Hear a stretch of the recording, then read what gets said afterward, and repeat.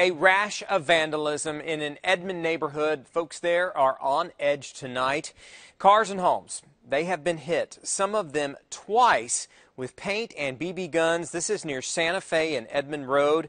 KOCO's Katie Blakey has the very latest. She joins us now live. Katie? Well, Paul, vandals painted all across the side of this home. You can see right now they're already painting over it. And for the most part, neighbors here have cleaned up the graffiti, but now they're worried that these vandals will strike again.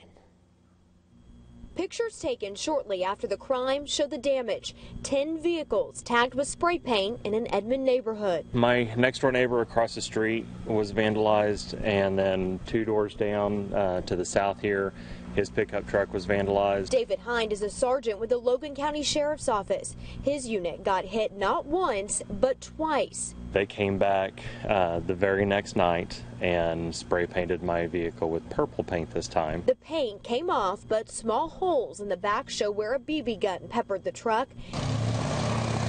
Edmond police say the crimes are happening after midnight, so they've upped patrol in the neighborhoods looking for teens out past curfew. We're looking for probably um, juveniles. It is spring break. We realize that. Police are now checking with homeowners here in this neighborhood, seeing if any of them have outdoor surveillance equipment. They hope that will lead them to the suspects. We're live in Edmond. Katie Blakey, KOCO, Eyewitness News 5.